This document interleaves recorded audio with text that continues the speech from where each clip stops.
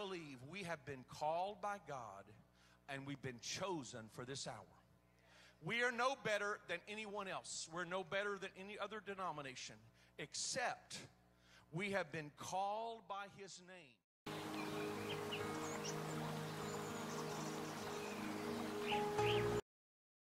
Tonight's lesson, we're going to take what is called an apologetic view of water baptism. Apolo- apologetic means doesn't mean you're giving an apology like I'm sorry for it, okay?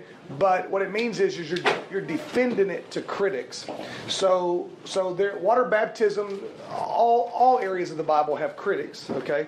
And water baptism certainly has its critics, particularly in the traditional denominations of today. Now, if you have not been in our study, then from the very first study on, what we have seen, we have, we have been endeavor, endeavoring just look at the Bible and see what it said first. So this is the, the final culmination of that. We first looked at Scripture, and in Scripture, it, there's no doubt that the only biblical model where anybody was baptized from the time of Christ on, okay, so after John the Baptist, but especially after Calvary and, and even before Calvary, was by full immersion in the name of Jesus. Uh, I mean, somebody orally invoking, saying in the name of Jesus, and by someone old enough to know what they were doing, okay? Uh, and that's in every case, whether it be the disciples in John 4, or whether it be in Acts 2, the Pentecost, or Acts 8 in Samaria, or Acts 10 with the household of Cornelius, or Acts 19, which we'll talk a little bit more tonight about John the Baptist's disciples being rebaptized, or uh, Ananias coming to Saul and Paul later telling about it in Acts 22 16. So, and throughout Romans and Galatia, it's always by immersion by someone old enough, okay, to, to know what they're doing and always in the name of Jesus. Now, what happens is a lot of religious movements have different roots, okay? And in our church, what we're trying to be, I don't know if we're there yet, we're trying to be, we're trying to be a truly apostolic church. We believe that if anybody had their doctrine right, uh, James, John, Simon Peter, the original people that walked, literally rubbed shoulders with Jesus and walked with him and were trained by him, we believe they had their doctrine right.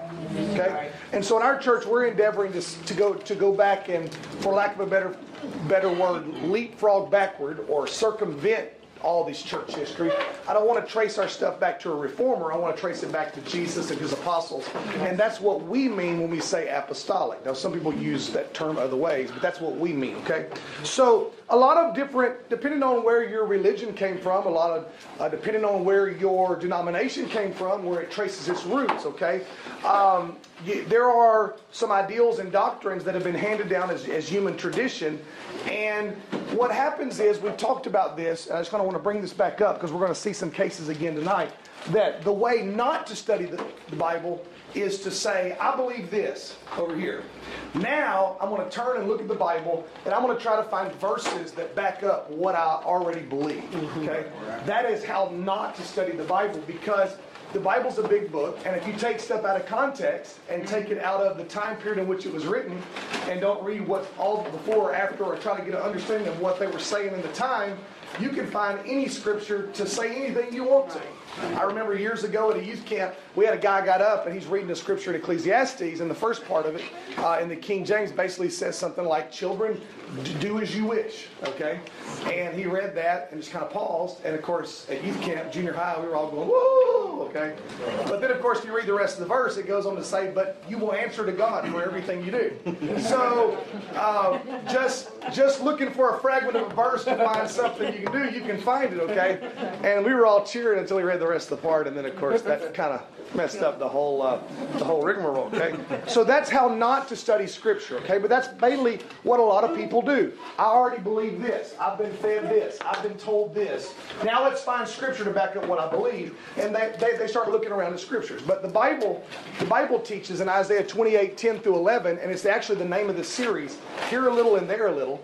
Where I got that was the book of Isaiah, and he says that it shall be here a little, there a little, line upon line, precept or principle upon precept or principle. Y'all with me? Okay. So in other words, in Scripture, it, there's uh, on a subject, there's a little bit over here, there's a little bit over here, a little bit over here. But the Bible says in Psalms 119, the sum of your word is truth. So in other words, when you put it all together, you have, and you interpret, let Scripture interpret Scripture, you have God's interpretation. So the way we should study the Bible is say, forget what I already believe. Let's go read the Scripture, all the subjects, put them together, and then let's see what God believes, okay? Uh, if we can find a Scripture that contradicts what you believe, then obviously you, you probably just tried to find what we call straw man argument looking into it, okay? And so, um, what we're going to do is we're going to kind of give some we're going to give some i'm going to bring up i'm going to do something i rarely do. We're going to i'm going to bring up what people say who do not believe that water baptism is essential for salvation or who do not encourage water baptism at all. I'm going to bring up the arguments that i have heard over the last uh, well 40 years okay?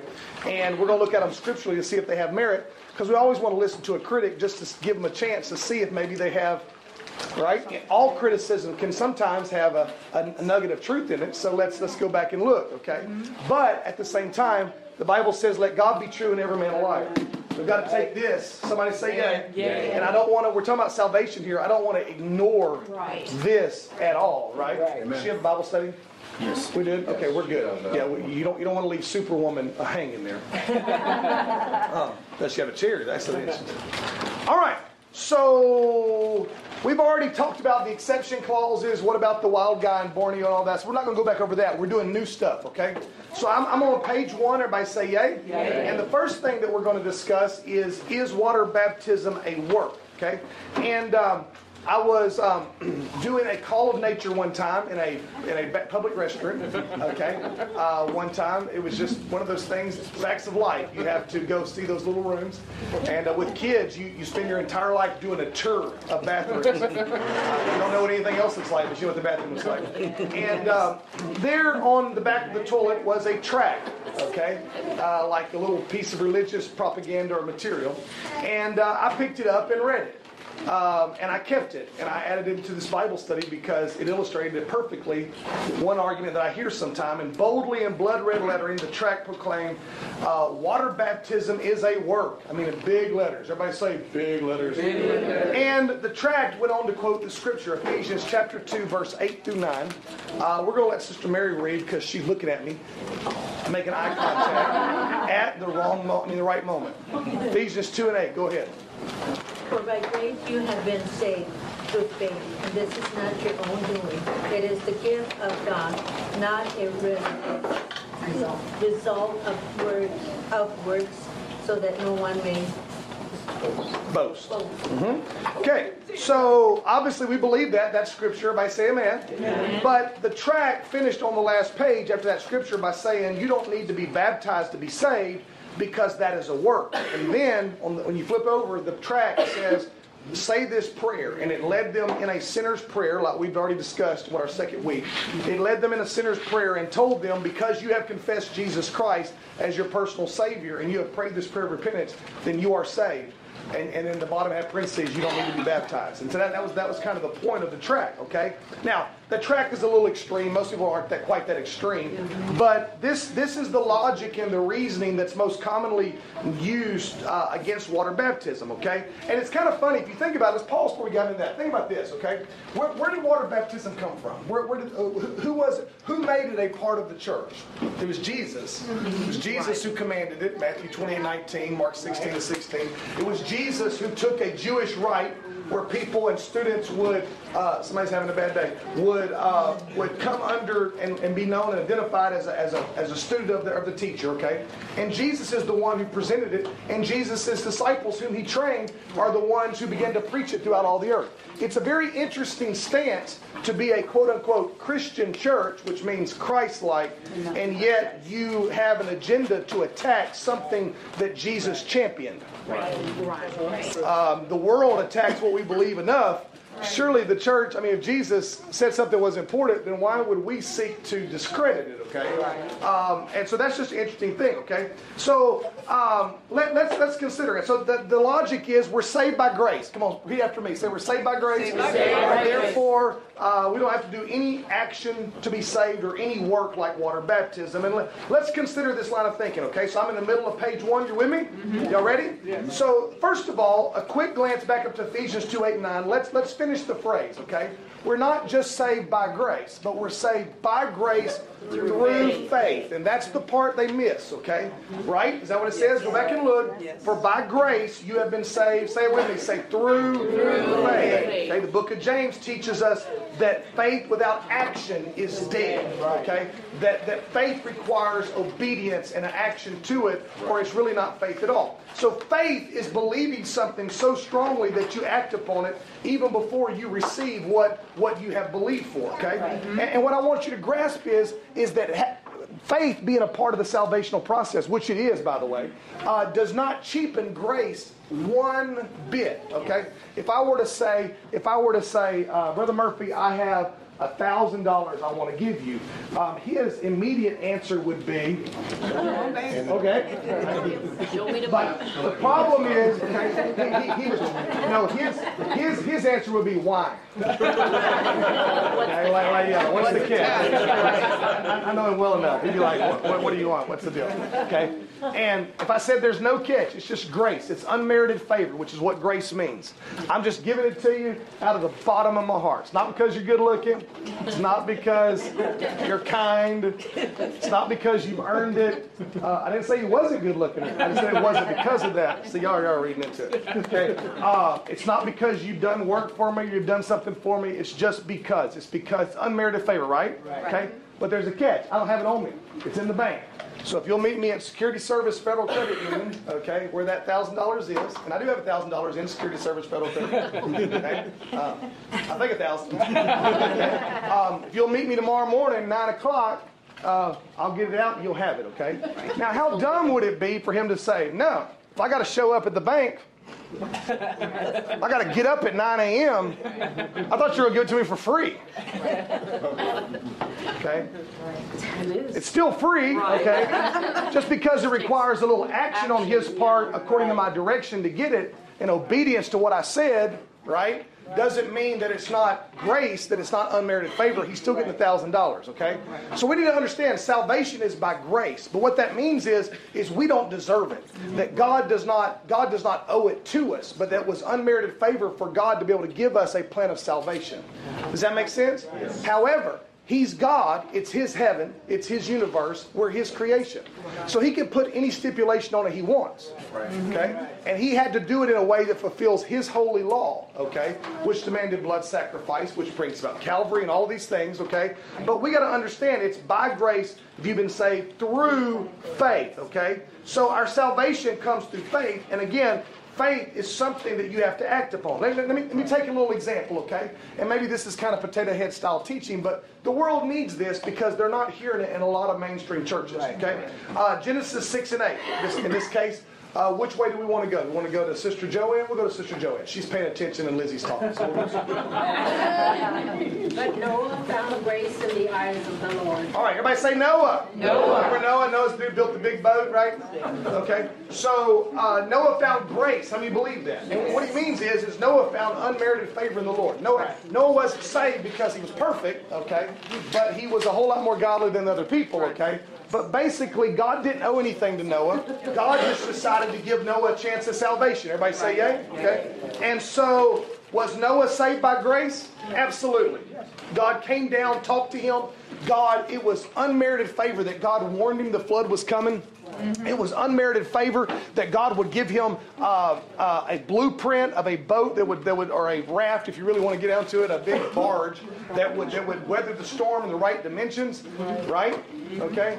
Uh, people always said the Titanic was built by professionals, and and uh, the Ark was built by just one man following God's blueprints. You know, you know, you know which one stayed up, right? Which one? So, um, so it was absolutely unmerited favor. It was grace that Noah found for God giving him that thing. Now, what if though? What if Noah would have said, "Okay, well, I have to like build the ark. I have to build it. I have to spend I don't know three, four hundred years building this sucker." What kind of grace is that? Thanks, God. Okay. Well, the rain still would have come. Right. Judgment still would have come on the earth, and Noah would have been wishing he'd have put a little action and faith to what God had said. Okay. So as it was the days of Noah, so shall the coming of the Son of Man be. Uh, we're saved by grace, but God has put, given us a blueprint of things we need to obey in order to be saved. Right. Yes. By grace through faith, you've got to act upon what God God's word has said, okay?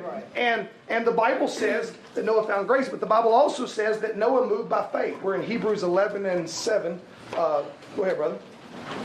By faith, Noah was born about things not yet seen, and fully feared most of heart to save his family. By his faith, he condemned the world and became heir of the righteousness that comes by faith. Okay, so Noah was saved by the grace of God and the fact that God gave him the favor to have to know the destruction was coming to have a plan in place. But he was also saved by faith because he, he, he did what God told him to do, right. obeyed what God told him to do. Are you ready for this? Followed precisely the blueprint and did it how God told him to do. He wasn't like, you know, that's really tough to put the joint together that way. Let's just cut a little corner here.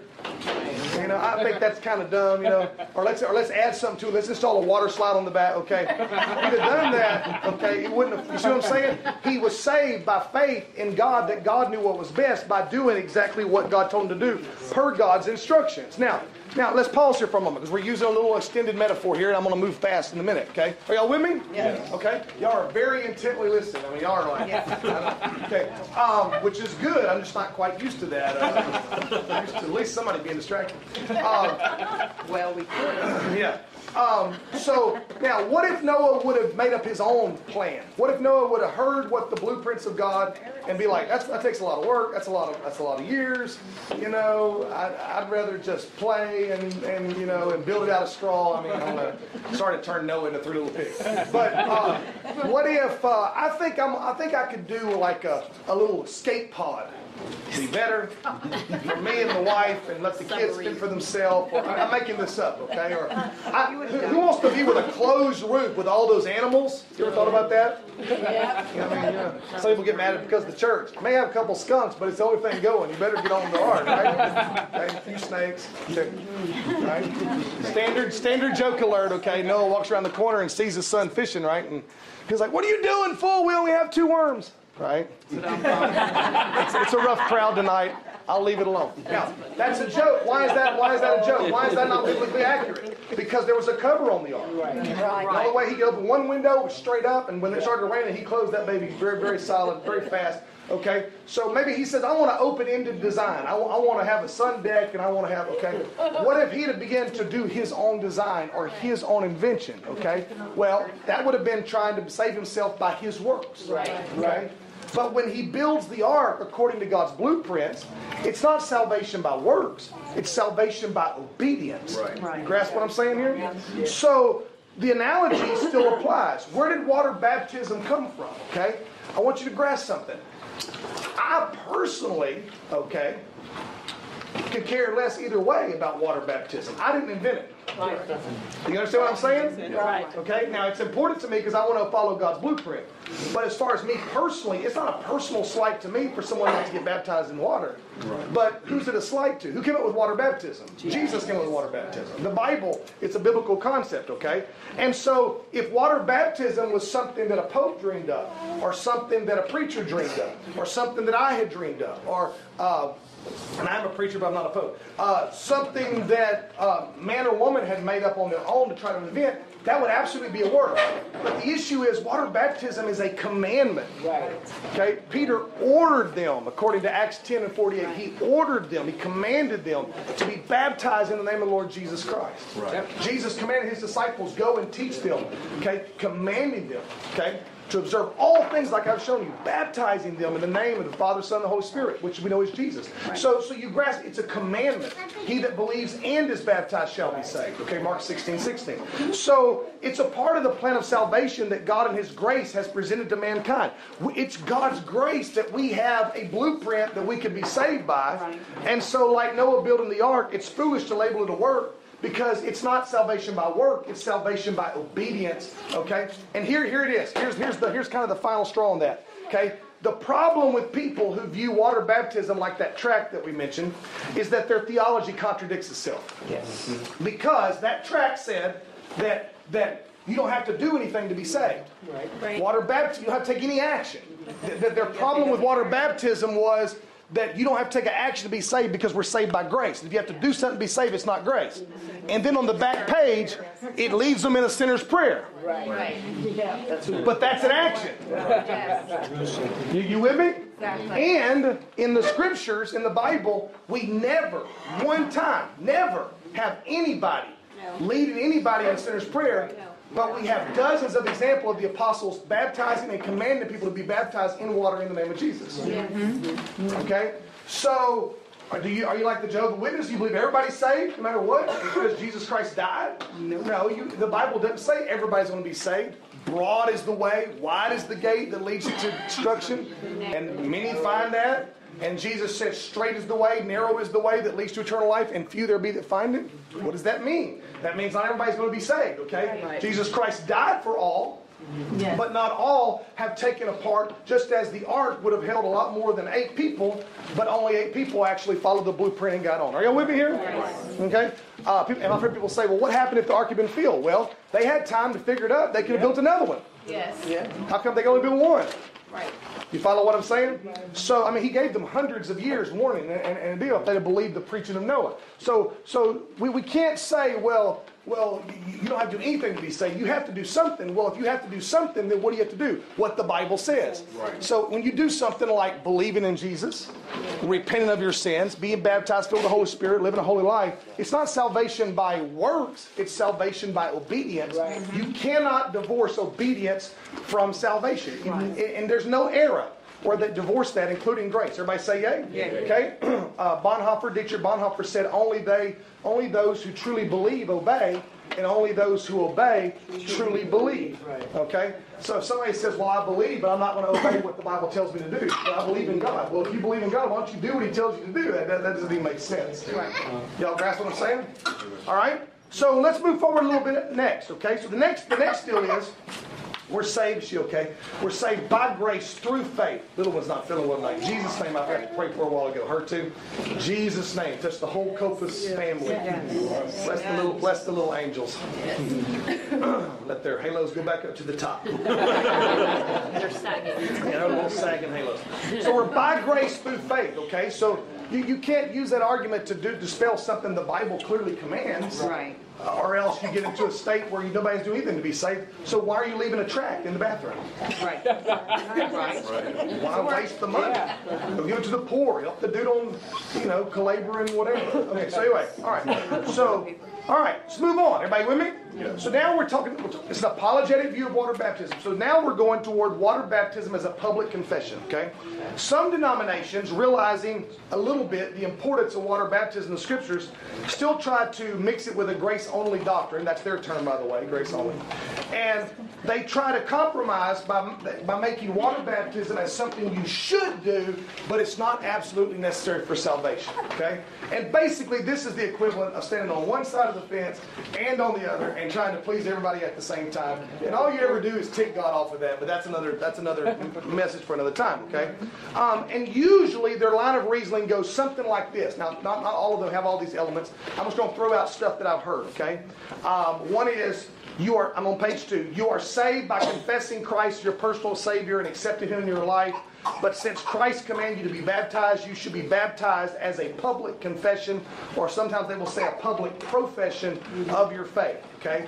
Uh, you'll hear this term. This is not in your note. You'll hear people say we have believers' baptism. Yes. Okay? Uh, once every three months, once a quarter. You know, uh, it's the fall believers' baptism. All the believers who have professed Christ but you've never been baptized, you really should do this because Jesus Christ told you that you should. And so you've already received Christ. It really isn't necessary, but we want we believe that you need to profess your faith to the masses. And so on, I'm making this up. On October the 32nd, we're going to have and it would be October 32nd in our church, uh, or the 12th of November. We have believers baptism. Uh, you have believers baptism, and everybody can line up and whatever. You say, well, why are you joking? Well, to me, that's unscriptural. Okay, and we'll get to it why in just a minute. Okay, that the disciples baptized people immediately and commanded it instantly. They taught it as imperative, not as something you wait till the next quarter to do. Okay. Um, another way you'll hear it uh, is they'll say.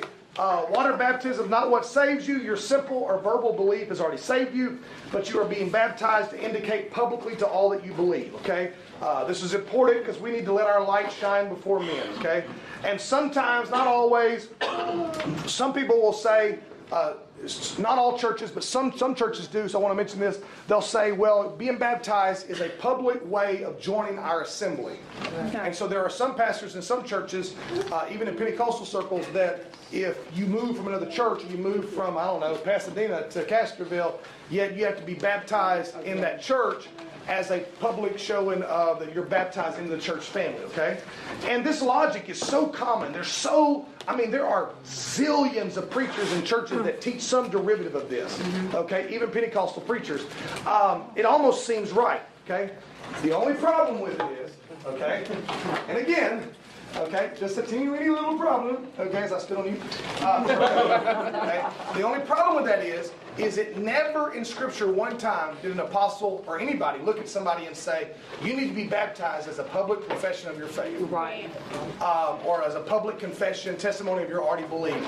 You never see that ever, okay? In fact, in the testimonies or in the recorded times where people were baptized in Scripture, there are several cases that contradict everything we just said, okay? Um, uh, and, and so, again, throughout the Bible, people got baptized as a result of their faith in Christ. I believe believing in Christ, I believe confessing it is important. I believe that you need to believe that Jesus is the Christ, He is the Messiah. We believe that's the first step, just not the only step according to Scripture, okay? It is the first step. He that, Mark 16 and 16, he that believes and is baptized shall be saved. So belief is a prerequisite Right. right? To, to water baptism, okay? Um, and, and, and so the scriptures do not present it as a public showing forth of something that's already happened, but like 1 Peter 3 and 20, baptism does now save us. And he's using Noah as an example, okay? Um, uh, Acts 22, 16, uh, be baptized, washing away your sins, okay? So the Bible gives washing away your sins or salvation as a reason to get baptized in water not as a public profession of a salvation you've already achieved. You guys with me? Yeah. Okay. Look on the bottom of page two. I have a little list for you. Okay. And I know I'm doing a lot of talking in this Bible study, and I, and I apologize. But you see, the mm-hmm. problem is, is we're talking about people's beliefs that aren't in Scripture. Right. So I can't read Scripture about things that aren't scriptural. Right. Okay? But if you do read the Bible, uh, you will find, I want you to think about these, and this is not all the baptisms of Scripture, but this is four of them that I want to point out, okay? Uh, Acts 8 25 through 40. Uh, Philip goes off in the desert and baptizes the Ethiopian eunuch. Have you ever read that? Yes. You can read on your own time. Acts, the entire chapter of 10. If you want to get down to the good stuff, skip down to the end of it.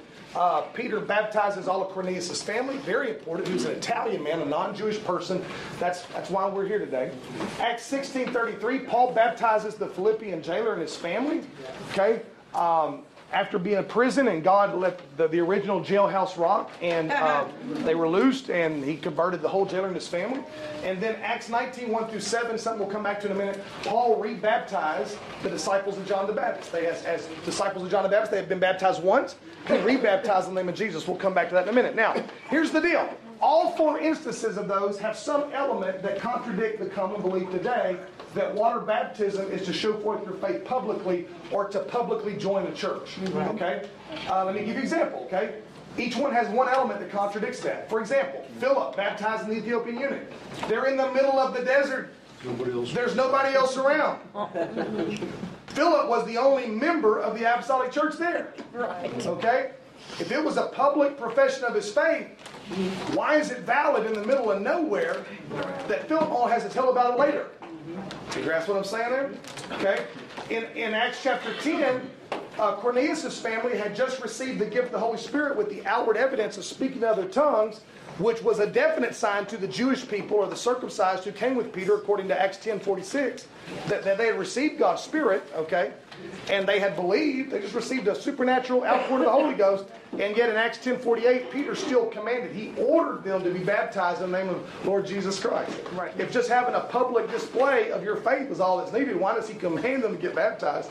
And again, again, it, it's, it, it begs the question there wasn't a whole lot of members of the church there, okay, just Peter and some friends, okay? When Paul baptized the jailer and his family in Acts 16 33, that's the whole story. The, the jailhouse rock didn't happen until Paul and his friend Silas sang at midnight. Right. Okay? And after it all come up, the jailer was going to commit suicide, and Paul says, Hey, we're all here. It's a miracle. We know this supernatural thing. It's okay, you don't have to commit suicide because the Romans would have put him to death. And he takes them in their house and binds their wounds and then baptizes them that very that very hour. We don't know what hour that was. It was probably at least one o'clock or two o'clock in the morning. If, if they didn't sing until midnight. Are y'all with me here? Right, You grasp what I'm saying? Okay. And there was nobody else around except Paul and Silas. Lydia and her family and all the church in her house were not around. If, if, if water baptism is a public profession of your faith, then how is it valid to baptize somebody at 2 or 3 o'clock in the morning with no other church members around? Right. And why was it so important that despite his wounds, the Apostle Paul would say, You need to do it now, let's do it now. Right. You grasp what I'm saying? Right. I've baptized people um, after Tuesday night Bible studies. Um, I've baptized people who didn't want people around. Okay, um, because he because he wanted to uh, surprise his wife, boy did he ever surprise his wife! Shocked her to death. Sunday morning, walked in our church. Like, "What are you doing here?" "Oh, I'm just coming to church today." "Oh, okay." Then when I announced it, she says, "When?" and then started crying. It was a great, it's a great moment. But um, I baptized people at three in the morning after having a flushing party, not him. Okay, and we went home and took their drugs and flushed them down the toilet. Okay, in, in retrospect, I realized that was not wise because I was there with the drugs. But at the time, I was a young pastor and I was zealous. Okay, I, I've never done drugs, so I back off. I Zyrtec. Uh, uh, so. Um, so all these things, the disciples of John the Baptist that Paul met in the 19th chapter of Acts, they'd already been baptized publicly under John the Baptist's ministry. Mm-hmm. They were baptized in front of the multitudes. But they need to be rebaptized because they hadn't been baptized in the name of Jesus, not because it was a public profession, okay? So teaching water baptism as a public profession of faith only is a convenient way to straddle the fence to say, well, we're not really going to attack something Jesus did, but we really don't believe it's necessary for salvation either. Okay? Again, okay, if a person is really moved on by Lord, we baptize them then and there. Okay? We don't wait till a believer's baptism where we do mass baptisms. We run you fresh water. Um, and we'll do it in the middle of the night. We'll, we'll do it whenever, okay? Because that's the biblical that's the biblical method. I've baptized people um, from New Jersey in my swimming pool, and it's not a big swimming pool. It's like 15 foot around and about four foot deep. And it's on a slope, so it's actually about two foot deep, about six foot deep. Okay, and we were all fully clothed, thank God, and uh, we got there and baptized them. And my neighbors, who are another faith, they they were they saw it and were asking questions about it. It's, it's a cool thing, middle of night. 9, 10 o'clock at night after a Bible study, they want to get baptized. I was like, well, we go to church and wait. We got water in the in the pool, I've been getting all the bugs out. You come over there. okay? All right? So it, it, the, scripture, the scripture doesn't support that. We have to be careful when our personal religious beliefs do not match scripture and especially the apostles' doctrine. Okay? All right, let's move forward. As promised, we finally got there, sister, so we're, we're there, okay? Let's talk about sprinkling and infant baptism, okay? Um, some denominations, such as the Roman Catholic Church and its closer offshoots, uh, teach water baptism as essential for salvation, but they deviate from the scriptural model in some way. Uh, most often, we talked about this last week, they deviate by baptizing without saying in the name of Jesus. We discussed that last week, so we're not going back over that. But another common deviation is that they sprinkle, okay? So rather than rather than she knows me too well. She took her glasses off immediately. Rather than rather than put them all the way underwater or go to Marimba or whatever they, uh, they it's kind of cold. I'm sorry about that. It's, like, it's ice water. It was good. They, uh, it feels good. All right. Um, they sprinkle okay um, and they have various ways of doing it okay uh, and the other thing that goes along with sprinkling some some they baptize infants Right. Okay? They'll christen a, a baby, okay, which means they name it according to the church.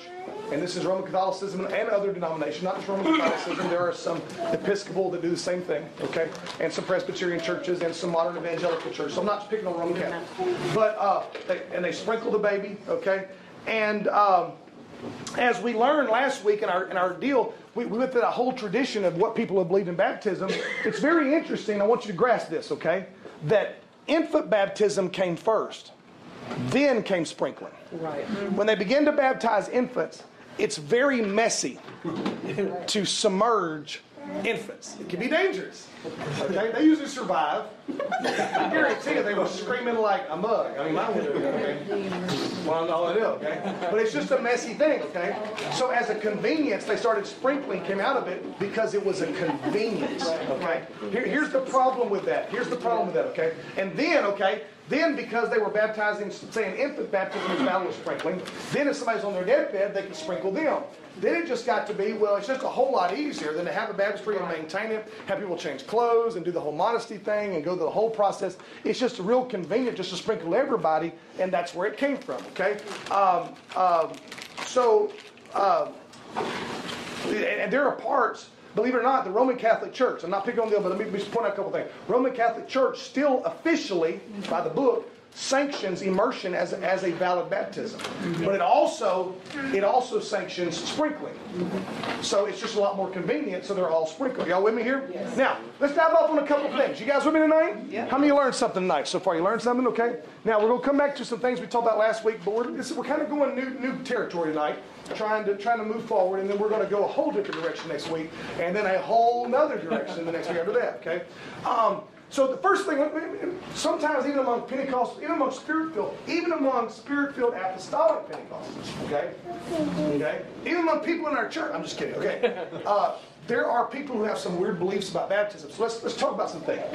First thing is the Bible does not teach. Everybody say it does not teach. Does not teach. What what scholars call baptismal regeneration. Okay, and what I mean when I say what I mean when I say baptismal regeneration, it's not the water and it's not the act of baptism that brings forgiveness of sins. It's the God in heaven who forgives and washes those sins away in response to obedient faith to his word. Right. Okay, and, and, and you say, well, say, well, you're having it both ways. No, it's a big difference, okay? And one is superstitious, the other is saying it's the obedience that makes the difference, okay? And as long as the obedience to the parameters in God's word are fulfilled, God does it, no matter if all the other parameters are changed, okay? So let me give you an example, okay? We talked about Naaman last week. Naaman, the Syrian general who went to the prophet, kind of if you remember, and he wanted to be healed of leprosy, which is always a type or shadow of sin in the Bible. And, and what did, what did, uh, what did Elijah tell him to do, or Elisha, excuse me, Elisha told him to go wash yourself seven times, dip yourself, I mean, dip yourself totally in the Jordan River seven times. He gets all mad. He wants to, he's, I, I think of five other rivers in Syria that are better than that muddy Jordan water, you know? I could think of a thousand other things he could have said to do, yeah. But here's the deal, okay? The only thing that's going to get the miracle is obedience. Right. So it wasn't that God sent an angel to stir up the waters of Jordan. Right. It wasn't that the waters of Jordan were special. It was, Naaman, will you just simply obey precisely exactly what I told you to do? Right. And when he dipped sixth time, No. nothing happened. But when he dipped the seventh time, when he came up, he was clean. I mean, believe it. Okay? So it's obedience to God's word that does the work. Okay? It's not the water, people. Okay? Our water is um, whatever it is from the county, whatever whatever it is. Uh, the Medina Electric Co-op. So where's that at? Is that I don't know where the water comes from. Edwards Aquifer. Edwards Aquifer water, okay? Okay. Yeah, I mean, it'd be expensive. We only baptize them in Fiji water. and nobody touches them. Biggest rip off in the world. That tastes different. Uh, I just get the Fiji water bottle and refill it. Okay. Uh, so, okay, but what I'm saying is, it's we just run the water. It's ordinary water. Okay. It's not the robe that I wear, because frankly, I don't wear a robe. It's not the detachable collar that I wear. Okay. I baptize people and they're like, "Where's your robe?" And I was like, in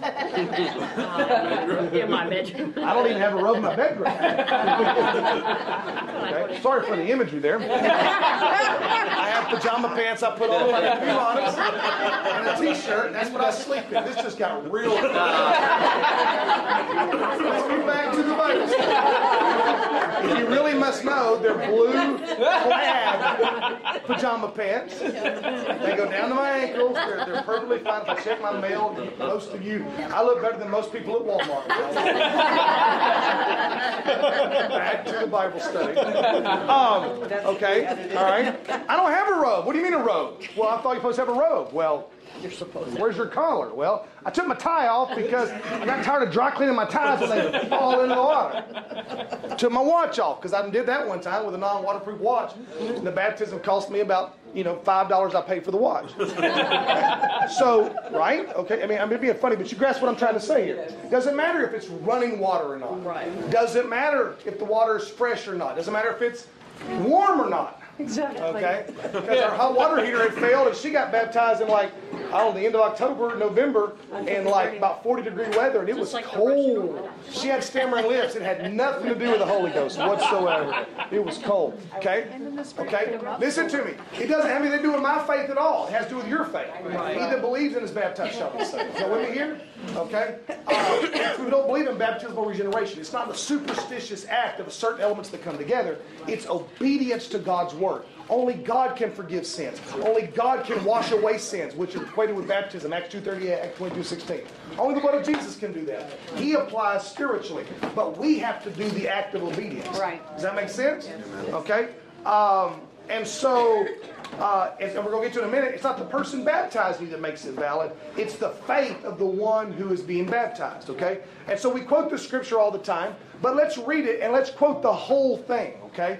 In other words, I typically quote the first phrase, but let's actually read the whole thing. We're in Mark 16, 16. Where are we at? Uh, Cheryl, go ahead. Whoever believes and is baptized will be saved, not believe will be condemned. Okay, so Jesus, according to Jesus, and this is pretty good stuff, um, uh, believing is a prerequisite to a person being baptized, okay?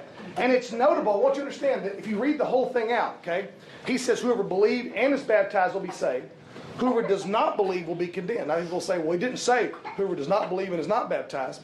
He doesn't address someone who does not believe and is not baptized because they're synonymous. Right. Okay, only a person who really believes God obeys what God tells them, and only a person who obeys what God tells them really believed. So if they refuse to get baptized, they don't really believe. Amen. Some people say, "Well, I believe, I believe Jesus, I believe the Bible, but I'm not getting baptized." you don't really believe it, okay? You grasp what I'm saying, there? I mean, that, that's a faulty logic kind of thing, okay? It's, okay, right? It's I, it's I love you, but I won't marry you. What? Okay, so Exactly. Okay? So infant baptism is invalid for this reason. An infant cannot is not at an old enough age where they can believe for themselves. Y'all with me? Okay? In scripture, in Jesus' ministry, okay? My faith can be valid for your physical healing. Right. There are people that are healed because of they're a servant healed because of his master's faith in coming to Jesus. There's a child healed because of daddy's faith coming to Jesus. Physical healing. But there's never anybody saved or forgiven based upon somebody else's faith. Right? Amen. You with me? Yes. I can't believe for you, Tom. Sorry.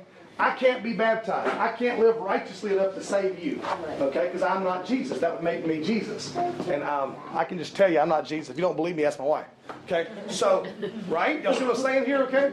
So he that believes and is baptized shall be saved. Okay? So, okay, we believe in full immersion. We believe I'm pre- you believe I'm a preacher. Okay, I'm an ordained minister with a religious organization. I've been a full-time minister. I was 20 years old. Um, we know how to do it in the name of Jesus. So I go down to the pool in Castroville in June, right? They're jumping off the diving board. There's a boatload of them out there. Okay, people don't even know. And what if I go? Jesus' name!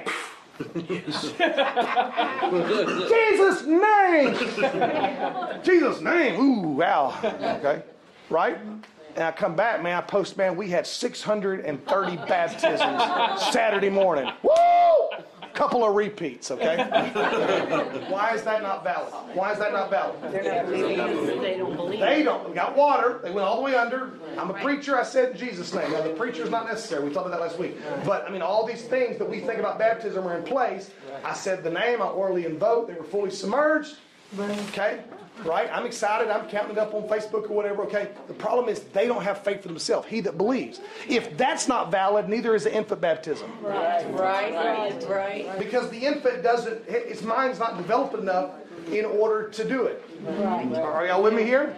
Okay? And this explains why in Scripture infants are never baptized. We never one time in all of Scripture, never, ever, ever, never, never, ever, never, never find an example, as I spit on you, um, of, a, of an infant being baptized. Why? Because for baptism to be valid and potent according to the teachings of Jesus, you've got to believe first. Yes. Okay? Amen. And you've got to have faith. That's why when a kid comes to us and wants to get baptized, okay? Be honest with you, okay? and we have kids of different ages. Now, I believe that they're old enough to receive the baptism of the Holy Spirit. They're definitely old enough to get baptized. Yet, I ask them, why do you want to get baptized? Yes. Like I tell me, you know, Pastor, I want to get baptized. Okay, that's sweet. Okay, why do you want to get baptized? Okay, and if they can tell me why, even in general terms, absolutely we'll do it. But they're like, oh, I don't know, because Susie got baptized. No. You want me to wait a little while, you talk to your mom and dad, we put them off. Why? They've got to be able to believe. I- It's not my, my faith. Okay? And I'll just say this don't put down on children's baptism. I was baptized when I was eight, my wife's baptized when I was seven, and it's stuck. Right. We're more on fire for God today at 40 than we were then. Okay? Right. But we knew, because being around a pastor and being on these Bible studies in our home, we knew, we knew why we were doing it, okay? So don't put down on that, but we also want to make sure they know, okay? All right, now, the other thing is, according to Acts 2.38, repentance, true repentance, is a prerequisite to water baptism, okay? Water baptism only washes away the sins, as Acts 22.16, uh, that have been repented of. You gotta, you gotta confess those sins for them to be repented of, in the, even in the future. Okay? So, infant baptism is not a valid scriptural pra- practice, but neither is cases where adults were baptized for social reasons only. Well, I got baptized. Why? Well, they wouldn't marry me. To my, they wouldn't marry my wife in the church unless I did. Right. That's not a reason to get baptized. Right? Well, the only way I could join the hyphen youth group was okay. That's not a reason. When I go to camp as a camp counselor was to. That's not a reason. Everybody else was doing it. That's not a reason. And looking back, growing up in a pretty large church, it's about a 400 member church. Okay, and there's a lot of us. We had a pretty good revival. We all got baptized. There were some of my friends that there were some people that obviously did it just because everybody else was doing it. Right. Because they're sure not living a repentant lifestyle today. Right. And I love you, and if you hear that on SoundCloud, you need you know what I'm talking about. Don't get mad at me. Don't send me hate mail. Okay? So, um, you know, you got to for a person to be valid, a person must believe in Christ, they must repent of their sins, and doing it to obey Scripture. Somebody say yay. If they did it for social reasons, then re, uh, rebaptism is advisable. We have somebody at our church right now whom I baptized in our early years of ministry. They came back later, okay, and that person came to me one night, you know, on the side and just said, "Hey, I'd like to get rebaptized." I said, "Why?" He said, "Because years ago I was just doing it to get everybody's pressure. Everybody was pressuring me. All my friends were. It was, it was peer pressure." And I said, "Let's do it. It ain't gonna hurt you. It just might help you because it might actually be obedience to the Word of God. Because we don't believe in baptismal regeneration. It's not the fact. It's not holy water. Yes. Right. It's not how we did it. It's your faith believing in in your obedience. Amen. Y'all believe that? Yes. Okay. Amen. So again, we talked about the concept of sprinkling instead of immersion was never used until the Catholic Church began to sanction the baptism of infants because it was so convenient. Um, they, it became the most common form of baptism of Catholicism and its closest offshoots. You have a picture there. That's members of the Russian Orthodox Church, which is a side branch of the Roman Catholic Church in Russia. Okay. Uh, and um, the Roman Catholic Church, of course, holds that, that baptism by immersion is valid, but immersion is also. The Russian Orthodox Church does not believe in sprinkling. Okay? And um, they're, they are, if you will look in that picture, that dude is, is in Russia, Yeah. northern Russia, standing on ice. That's what I said. They broke the ice to baptize them people because they also believe you got to be baptized outside. Okay, now let me just say this. Okay, they're probably not doing it in Jesus. And I, I really, I really don't know to be honest with you. So I'm not going to. Let, me just back off of that statement. Okay, I really don't. I need to. I mean, I don't know. Okay, my brother's pastor pastoring some people. He's one from the Russian Orthodox Church, and I should know that, but I don't. Okay, but if they can go break ice for tradition's sake in Moscow. Come on, somebody. Oh, we did hear. It wasn't ice, it wasn't that, okay? All right, so I'm on top of page four. You guys with me? Yes. Sprinkling for baptism is never found in Scripture. The very Greek word for baptism means baptizo, means to completely immerse or to bury.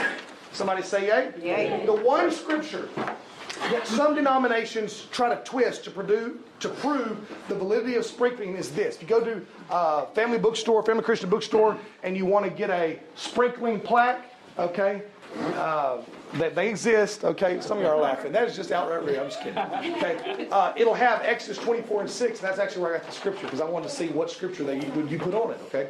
Um, and it's this Exodus 24 6. We are over here. And Moses took half the blood and put it in basins, and half the blood he sprinkled on the altar. Then he took the book of the covenant and read in the hearing of the people, and they said, All that the Lord has said we will do, and be obedient. And Moses took the blood, sprinkled it on the people, and said, This is the blood of the covenant which the Lord has made with you according to all these words. Okay, so this is when the law was initiated, the Mosaic Law. Uh, he took the blood from the sacrificial lamb, he sprinkled it on the book and on the people, okay, which is kind of nasty if you think about it. Um, and uh, he said, This is the blood of the covenant. And they say, Well, you know, baptism is a covenant, which we agree. Baptism is the application of God's blood, which we agree. Okay, but okay, this is a bad this is a bad scripture because if this scripture proves anything, it proves that Moses' law did an insufficient covering of blood. Right. It only sprinkled them, whereas the blood of Jesus washes sins away. Right. Moses' law could not save us. Right. So this is not the scripture you definitely want to use, okay? Um, and since we are to be covered with the blood of Jesus and our sins completely washed away, not just spot cleaned, okay, that's my terminology, okay? And according to Colossians 2, 11 and 12, we're supposed to be buried with him. It's a, it's a be buried with him. Jesus Christ didn't have, we're identifying with his burial, and it's not in here because we're going to deal with it tomorrow night, okay, because that's our text. But, uh, but to be identified with his burial, you need to you need to identify with his death, that you repent and die to yourself. You need to be identified with his resurrection, receiving the resurrection power of the Holy Spirit. But also you are buried with him in baptism, according to Colossians 2, 11 and 12. Now think about that. Jesus Christ, they didn't lay him on top of the ground and sprinkle a little bit of dirt on him. That's not what bury means. not what baptism means. Right. You follow me? So we're buried by going all the way under, okay? So in short, Okay, let's wrap it up. There is no scriptural proof of the sprinkling of water for baptism in the New Testament. We should baptize by immersion today. Means going all the way under because of many reasons. One, to follow the biblical pattern. That should be enough. Let's go home. Just kidding. Number two, to follow Christ's example. He was baptized by John the Baptist. The Bible says in the Gospels, who baptized the Jordan River because there was much water there. It'd been easier to sprinkle them in Jerusalem. That's where the crowds were. They had to go all the way out to the Jordan River to be baptized because there was much water there. Think about that. Okay. Number three, to show respect for God's word. Number four, to preserve the significance of water baptism as a burial with Christ. And again, it's Colossians 2 and 12. And the other thing is, other methods come from non biblical tradition and for desires for convenience. And those are inadequate reasons to not fully obey the Word of God. Okay? And so instead of trying to make what if scenarios to skirt the rules, you need to obey the Word of God. If you've never been baptized in the name of Jesus, you need to get baptized in the name of Jesus Amen. by full immersion when you're old enough to know. Yes. Okay? Um, uh, when uh, J.D. Anna received the baptism of the Holy Spirit, she received it quite young. I think she was six or seven, and she got it for real. But she was scared of water, deathly scared of water. J.D.'s always has gotten over it recently. But as a young kid, she was scared of water. I can't tell you how many times I baptized her in, in practicing to get her into the baptistry. She knew she didn't get baptized, and she cried out, "I want to get baptized, Eddie, but I'm scared of my head going into water." I said, "Well, I won't hold you about 30 minutes." I don't know why she was scared. I'm, I'm kidding. That's a joke. Um, we would practice. We would practice in the pool. I'd practice, and she would say, "Well, Daddy, just say in G." I'd say, "I baptize you in the name of practice." and she would come up. We'd practice it, and she would say, "Well, just say in Jesus' name." We went to church. I have to know. I said, "No." I said, "I said you need you need to." Not take the easy route on this, and I said, I said, as an example to your friends, you need to show the importance of overcoming your fear and reacting in faith in this. It's not really a profession of your faith as far as publicly, but as a matter of being a preacher's kid, and and the fact it's a fearful thing. We're not just going to baptize you incognito. You need to, you need to do it. And so I wouldn't baptize her in Jesus' name in the pool. I baptized her many times, but fun. Okay. Um, you, you grasp what I'm saying there? In Ephesians 4 and 4 teaches us this. Where are we at? Uh, Sister Dolores. There is one body and one spirit, just as he was called to the one hope that belongs to your call. One Lord, one faith, one baptism, one God, Father of all, who is over all and through all and all. Okay, one baptism. I say one baptism. One baptism. And that means that Paul believes there's only one correct way to be baptized according to Scripture. So in modern Christianity, there's many different baptisms. We'll baptize you this way. We'll baptize. There are some churches you can choose. I would tell you a church that you can choose your method of baptism or your formula is not a church based upon biblical principles, but upon man-made tradition. Yes. You can choose. Is it Luby's cafeteria? Pastor who doesn't have a fully conviction of doing things Bible, never looked at it. Do you really want to trust your soul to somebody who's never even bothered to look at something that Jesus commanded and, and the example of it in Scripture? It's a thought. Okay, I'm not being rude to them. I'm just saying, think about what you're doing. You see what I'm saying? Okay? And so I will only baptize one way by full immersion, somebody who's old enough to profess, showing signs they have professed and believed in Jesus Christ, showing signs of repentance. And I'll baptize them by full immersion in the name of Jesus Christ. And I have never held anybody under, but there was one guy I thought about it. and Daniel, if you're listening to this, you know who you are. All right. Bottom of page four. You guys okay? Yes. Take a deep breath. We've covered quite a bit of material. And um, uh, Sister Vala brought me these mega M&Ms. They are three times bigger peanuts and three times more chocolate. Check them babies out. I can tell my wife, but I only had one bag.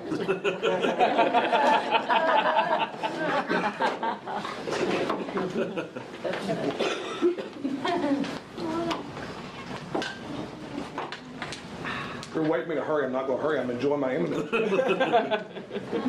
You okay about sprinkling there? Yeah, I'm fine. As long as it's not blood. My dad was raised Methodist. There's some great Methodist people out there. My dad's one of them. He always said he was a Methodist filled with the Holy Ghost. But when he got received the baptism of the Holy Spirit, he got rebaptized in the name of Jesus by immersion. He was sprinkled as a young man. Now, thank God for that, that He instilled that in me, that it's never too late to go forward. Right. Amen. Amen. Uh, my friend, Brother Vickers in Antlers, Oklahoma, of all places, baptized a 95 year old man last year. Wow, 95 years of age. In the name of Jesus. You want, you want the fountain of youth? Be born again. Right. He, died, he may have died five years old, spiritually. And a hundred, some of y'all get it. Never mind. Okay. Let's finish up tonight. All right, so let's talk about another one, okay? Christ did not send me to baptize. And this is, when people are really wanting to believe something, they'll go looking for a scripture like we talked about. They're looking, they say, I believe this, and this is a classic example of it. I believe this. Let's go look for scriptures that seem to go along with what I believe. And then let's rip that sucker out by the roots. Let's not read the scripture before or after. Let's not take it in context of the chapter. Let's pull up that one verse, okay? And so this is definitely one. A favorite verse of uh, anti uh, baptism people is when the Apostle Paul wrote to the church in Corinth. And this is 1 Corinthians 1.17. We'll just read the verse and we'll take it in context in a minute. Go ahead. For Christ did not send me to baptize, but to preach the gospel, not with words of eloquent wisdom, lest the cross of Christ be empty of its power. All right.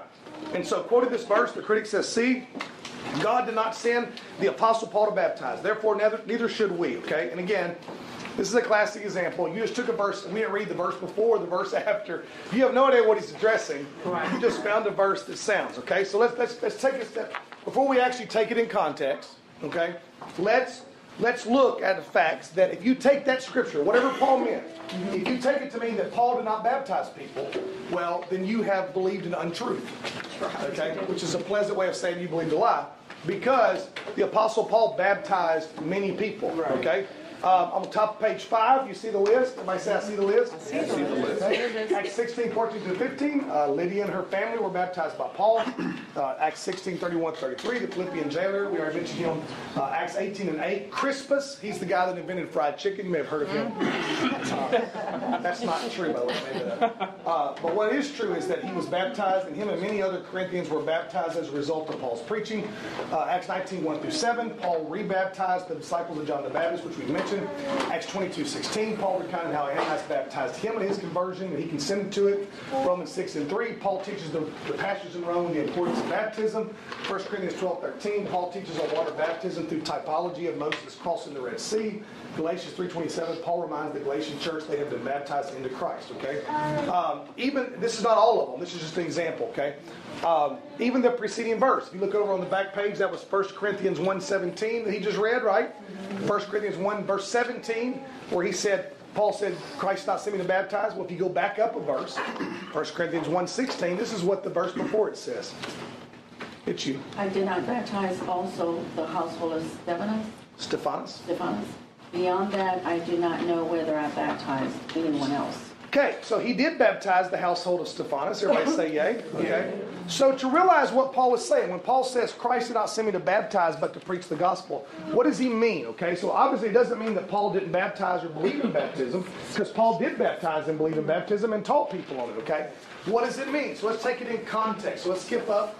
Uh, 1 Corinthians 1, we're going to skip back up to verse 10. Who gets the long one tonight? you get it. And we're going to read all the way from verses 10 through 17. Here, here's a key thing. For those of you that are new, new, okay, here's the key thing, okay? The scriptures seem like it's contradicting something you know the Bible teaches elsewhere. Either go back up and read before it or keep reading. Right. It, it, it'll clarify itself. The Bible always clarifies itself. And this is a classic case. Let's skip back up six verses or so and go for it. I appeal to you, brothers, in the name of our Lord Jesus Christ, that all of you agree with one another so that there may be no divisions among you, and that you may be perfectly united in mind and thought. My brothers, some from Chloe's household, have informed me that there are quarrels among you. There's always some Chloe's in the church. Go ahead. What I mean is this.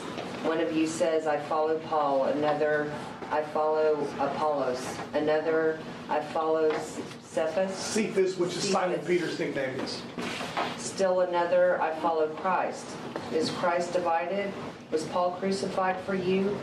Were you baptized into the name of Paul? What's the what's the that's a rhetorical question. What's the answer to both questions? No. No. Paul was not crucified for them, and they were not baptized into the name of Paul, even the ones Paul baptized. Go ahead. I am thankful that I did not baptize any of you except Crispus and Gaius. Gaius. So no one can say that you were baptized into my name. And many forget he also baptized Stephanas. They don't want to offend him.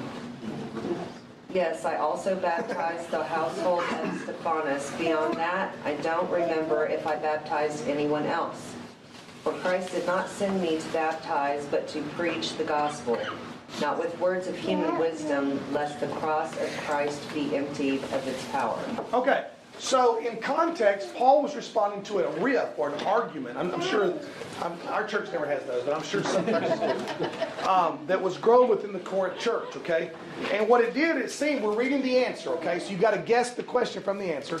But it sure seems that the Corinth church was making a big deal of who baptized them, and we're baptizing into cliques based upon the person who actually performed their baptism. Okay.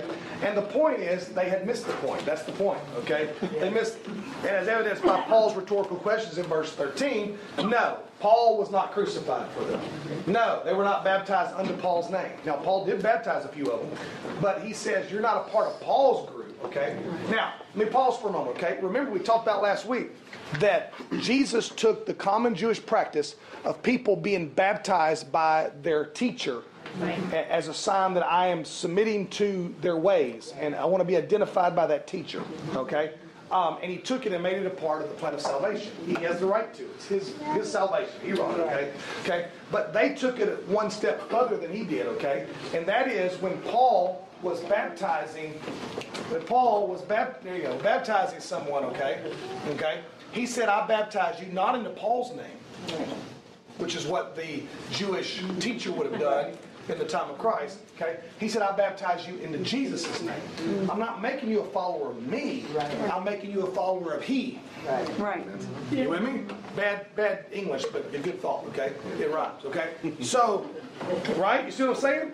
So they're arguing. Some were saying, "Well, well, I'm baptized by Apollos. He's a much better preacher than Paul." Okay, I'm baptized by the Apostle Paul. Well, I'm baptized by Cephas. Well, I don't remember who baptized me, but I'm, I'm under Christ. Okay, he's like, okay, you're missing the whole point.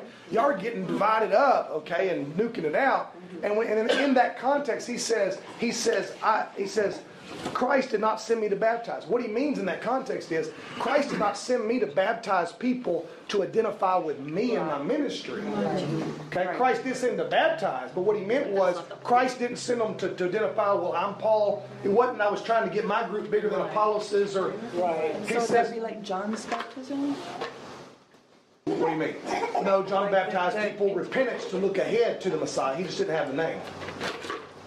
But in the scripture, it says that I was baptized under John's baptism, right, in Acts 19 is what you're quoting. Yes. They were baptized to be ready for the Messiah, but they never got around to being baptized in the Messiah's name. So he rebaptized them in Acts 19, 1 through 6, in the name of Jesus, which is the Messiah. What he's saying is, it wasn't to be like I'm a follower of Paul versus Peter. Christ didn't come get me to give some personal, you know, and in modern times, we have people that they're little, they're, this is a horrible word, they're groupies of certain preachers. You know what I mean? Well, I'm I'm so and so. I follow so and same same same exact thing. Okay. You know, well, I want to be baptized by him. Okay. Well, that you're missing the point. It doesn't matter who baptized you. It matters what name were you being baptized. in. Right. And and and I'll, I'll just throw this out here. It's not in my notes, but I've also heard this. I've heard people say, well, the word baptism, literally in the Bible, means to immerse or to bury. Right. But figuratively, it means to be identified with. And I absolutely agree with that mm-hmm. because the Jewish practice of identifying with a teacher, okay? Right. But I've heard people say it means literally to immerse, but figuratively to identify with. So when it says baptize, it means you just identify with Christ. If you identify with Christ, that, that's your baptism, okay? And I would say that, okay, the problem with that is, is the disciples didn't believe that because they didn't say, okay, do you identify with Christ? Oh, that was your baptism. Right. They said, no, you need to be baptized. Kabloosh. Right. You grasp what I'm saying? Okay. And you say, well, prove that. Well, Acts chapter 8, the Ethiopian eunuch, he, Philip's preached to him Christ, and he says, there's water. What hinders me to be baptized? Right. If, if what he meant by baptism was just being identified as a believer of Christ, then why do they have to have water? Right. Yeah, right. Obviously, the disciples actually. Are y'all with me? Yes. Okay, let's do one more thing. You might get out early. We got 14 minutes. Baptism for the dead, or where I come from, the dead. Um, and so again, you'll notice that both these are from Corinthians. Okay, and let me just give set, let me give you an example of why that is. In 1 Corinthians, you're reading the answer to a previous letter, which we don't have. You're reading the answer to the questions, but you don't have the questions. It's Jeopardy. What is purple? Right. Okay? Right, Never mind. Okay, so 1 Corinthians 15 29, Paul makes another statement, which some people have built a whole honking doctrine on. Go ahead. Now, if there is no resurrection, what will those do who are baptized for the dead? If the dead are not raised at all, why are people baptized for them? Ooh. Now, let's take a little poll. How many of you will admit you didn't know that was in the Bible till right now? You'll be honest. I got, I got some I got some hands going up. That, thank you for being honest, okay? Okay. Okay. If there's no resurrection, what will those do who are baptized for the dead? Okay. Now, there is a uh, there are some religious beliefs, okay? Uh, for example, the Church Latter day Saints, who you probably better know as the Mormons. You ever heard of the Mormons? Okay. They take that one scripture, rip it out by the roots, and they have built a whole doctrine on it where people are baptized for people who have already died. Um, I remember when I was a teenager, I went to Salt Lake City, which of course is the headquarters of the Mormon, uh, the church, they, they like to be called the Church of Latter day Saints. And um, um, in the when you, you tour the facility, there are certain parts of it you can tour. Let put it that way. And you can see the you can see the big cathedral where the Mormon Tabernacle choir. Know what I'm talking about? Okay. And then you come around, you walk around, and you have a corner, and then there's this big room, and it's all these big ornate paintings of all these people that are important to Mormon tradition. I'm being very polite. I'm being so stinking polite, it, it blows me away. Uh, after the presidential debates, I don't have spirits out of me. But um, the uh, there's this big pool, like it basically like uh, it's like a big square pool. Uh, it's actually on a, like stand. It kind of comes up, and I'll never forget the sight. There are people lined up. I mean, there are people lined up forever, and they have lists in their hands. They have hands. If you've ever done any kind of genealogical research, how many of you have done any genealogical research? Okay, you have used Mormon genealogical research because the Mormons have put millions of dollars into genealogical research because because they believe that you can go to Salt Lake City with a list of your ancestry and you can be baptized for them and they be saved, even though they've been dead for a long time. They believe in baptism for the dead.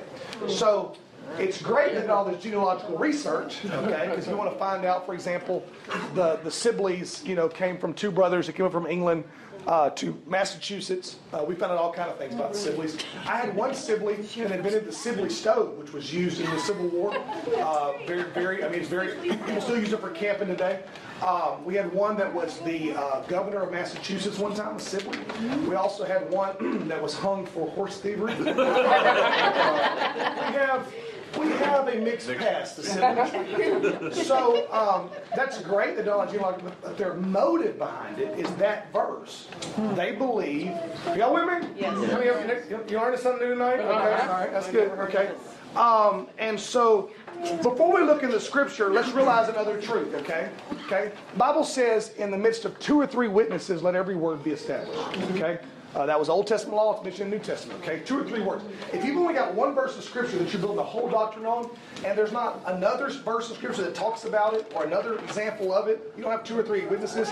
You're, you're probably going out on a limb. You have- truth ha- always has three legs. I had a professor one time who had Legos, and he built a little steel. It was real nice. I wonder where he's going with this. The whole time he's talking, he's building Legos. Three legs. He says truth always has three legs.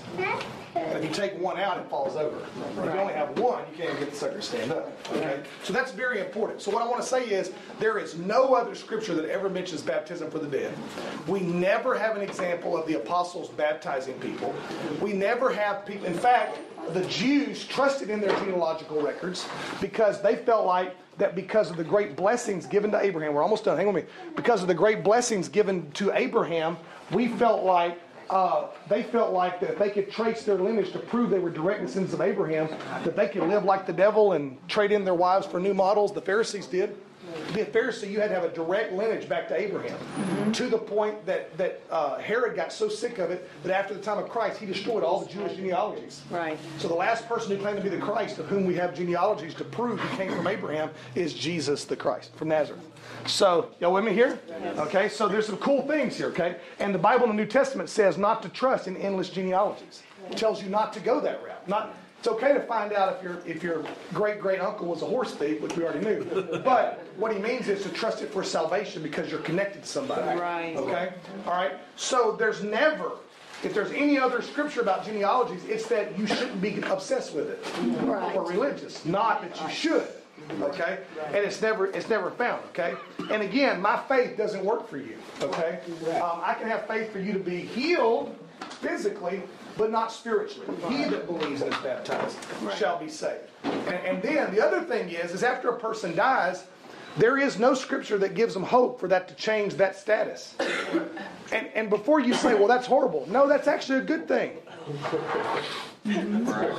Some of y'all missed it. In other words, people say, well, you mean after they die, it's, it's done, they're either lost or saved? Yes, that's a good thing. Yes. That means if you make it, you made it. Hebrews 9.27, where we at? And just as it, just as it is appointed for man to die once, and after that comes judgment. Okay. So it's appointed for man to die once. Y'all all hacking. Um, and after that comes judgment. Some of y'all may die soon. Sounds like I'm just kidding. I'm being funny, okay? So concepts like purgatory or a halfway house between heaven and hell. That's horrible. I made this stuff up. Uh, um, are inventions of men. They're never biblically found. Once you die, it's sealed, okay? Um, it's dangerous, illogical, and false doctrine to take one verse of Scripture and build an entire theological concept, okay? So whatever Paul meant here, it's not that you can be baptized for dead, okay? So let's let's take it in context, okay? Let's finish up tonight's last thing. 1 Corinthians 15 and 12. Uh, who gets the big one? But if it is preached that Christ has been raised from the dead, how can some of you say that there is no re- resurrection of the dead? If there is no resurrection of the dead, then not even Christ has been raised. Mm-hmm. And if Christ has not been raised, our preaching is useless, and so is your faith. More than that, we are then found to be false witnesses about God. For we have testified about God that he raised Christ from the dead. But he did not raise him if in fact the dead are not raised. For if the dead are not raised, then Christ has not been raised either. And if Christ has not been raised, your faith is futile. You are still in your sins. Then those who have fallen asleep in Christ are lost. Mm-hmm. If only for this life we have hope in Christ, we are to be pitied more than all men. Okay, so this is the context. 1 Corinthians 15 is the resurrection chapter. Everybody say resurrection. Okay? And Paul is talking about, he's talking about people in Corinth, we're at the end, so grasp this, that didn't believe that there would be a resurrection of the dead, that people would live again.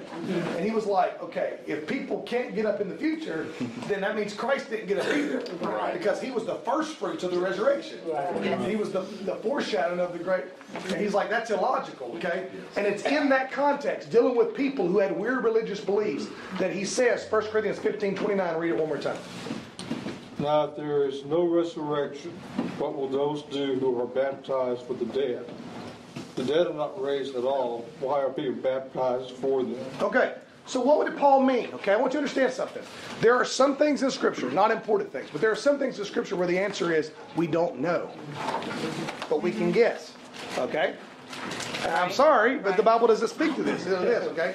But one thing that peop some people believe, and I do not believe this, I'm not going to spend a lot of time on this. Gonna, I believe number two, so I'll talk about it in a minute. Okay? Number one is some people believe that Paul referred to those people when he said those who are baptized for the dead, that Paul referred to those who became converts as the result of the deaths of Christian loved ones.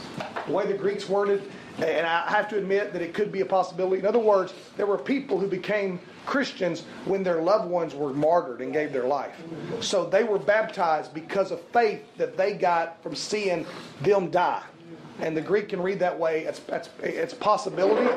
Okay? I don't believe that, but it's a possibility. I have to admit it's a possibility. Okay? The second thing that could be, and this is what I believe, is that Paul referred to an errant doctrine believed by those whom he was confronting, and he was pointing out a contradiction in their own false beliefs. Okay? So basically, I'm dealing with Jason here, okay, who doesn't believe in the resurrection of the dead. But I, as Paul, also know that Jason also believes in baptism for the dead. Okay? Doesn't mean that I believe in baptism of the dead, but I want to point out to him if you don't believe in resurrection of the dead, then why are you also going to get baptized for the dead? Right. It doesn't even make sense. Right. Okay? False doctrine a lot of time contradicts itself. Right. Truth never contradicts itself. Right. Truth doesn't say we believe this, this, this, and this. Oh, but actually this contradicts this, but we believe, well, yeah. False doctrine, when you take stuff to the logical end, it contradicts itself, okay? So I believe that Paul was not saying, I believe in baptism for the dead, but some of you do, and yet some of you also are saying, you know, you got family members that are arguing whether there's a resurrection of the dead, and then you're going out and saying people need to be baptized for the dead. You people need to get and realize you're contradicting yourself, okay? That's a possibility what he meant. I, that's one I believe, but it, it doesn't really matter, okay? Yeah. The third possibility is that some preachers believe that Paul was referring to the baptism of the dead men. That, in other words, when you repent of your sins, you're identifying in Christ's death. The old man dies because you turn away from your sins, and when you're when you're buried with Christ in baptism, you're identifying with His death. And he's talking about burying the dead men of the old sins. Possibility, I, that's that's a little contrived, I think, for that passage. I think he's dealing with people who had all kind of false beliefs, according to all of First Corinthians. Yeah, so right. I think he's just using their logic against them. But that's a possibility. I mean, I get it. Okay. I know sometimes we baptize live people, people that haven't repented, people that haven't really turned from their sins. Yes. And, and, and, it's, and that's why it's such a struggle to live for God, because you're trying to bury somebody who's alive. Right. Right. Right. So, whichever of the three, any of those makes better sense than taking that one verse Yeah. and doing what the Mormons did, make a whole doctrine out of it, okay? All right, let's finish up. We've got three minutes. Uh, we're going to redeem the time and stop way short of that. Uh, there's one verse of Scripture that I would ask critics of water baptism to explain. We've covered pretty much every uh, argument against water baptism that I've ever heard in 40 years of reading, studying, talking to people. Um, if there's something that you've heard that we haven't covered in this previous lessons or in this lesson, please let me know. We'll add it in, and we'll have something for those last three minutes. Uh, there is uh, one verse of Scripture, because we're going to move on next week from water baptism, okay? Um, I would ask the critics of water baptism to explain. People say, I don't believe in water baptism. And I always ask them, explain to me, what does the Scripture mean? Okay? Uh, 1 John 5, 7, and 8. Go ahead. For there are three that testify the Spirit and the water and the blood, and these three agree. All right. So in the true believer's life, everybody say yay. There are three things that agree in testimony that they're a believer. That's the context of the chapter. The spirit, the water, and the blood. If you're a true believer, you've got the testimony of all three in your life, testifying that you are a true believer, right? Anybody believe that? Yes. Okay. Okay, if you are seeking to obey the apostolic model, okay, and everything we've covered, this is pretty easy to explain. Mm-hmm. If you're a true believer, you've received the Holy Spirit. You've been baptized in water. Therefore, the blood of Jesus has washed away your sins, according to Acts 22 16. Pretty easy. You've got the witness of the Spirit, the witness of the water, and the witness of the blood. If you don't believe in the apostolic model, okay, if you just believe, I don't know, whatever, confessing your sins or whatever, okay, or verbal belief, what does that mean? You have the witness of the Spirit. Where's the water? Right. What water is it talking about? Mm-hmm. See what I'm saying? Okay? And obviously they shy away from that verse, but I'm just saying that it makes perfect sense in context of what the, the, the apostles taught. If you leave water baptism out, and if you try to say, well, I received the Spirit when I believed, and the blood of Jesus when I repented, okay? Where's the water? What's the water talking about? Why would he say that these three agree? Right. What's it, what's, what's it referring to? There's no easy answer. I mean, they come up with them, but I mean, it's pretty obvious what he's talking about when you read the whole, the whole, the whole New Testament. Somebody say yay? So to have the true testimony of God, you've got to have testimony of the Spirit, the water, and the blood. Rather than searching for excuses and fanciful arguments to not obey God's word, why don't we get back to just simple obedience? Let's just do what God told us to do. It's pretty simple. Get in the water, Naaman. In the time, in the time we've talked about this, the, the hour and 15 minutes we spent tonight, I could have baptized every one of you four times. Get in the water. Just do it, okay? And let's read one last scripture, uh, Acts 22, 16, New Living Translation. What are you waiting for? Get up and be baptized. Have your sins washed away by calling on the name of the Lord. All right. So uh, that's the that's the question. That's what the apostles would say. What do you? Why are we talking about this? Get baptized. Amen. Hope you learned something. God bless you. Next week we're going to talk about uh, should a Christian keep the Sabbath. God bless you.